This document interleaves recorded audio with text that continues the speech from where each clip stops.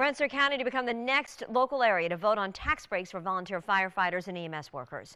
Experts now hoping this will put a dent in the overwhelming drop that they've been seeing in staffing.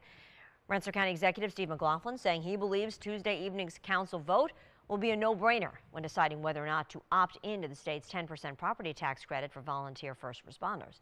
The state law that passed December 9th is seen by many as part of the recruitment toolkit amid a massive decline in volunteers.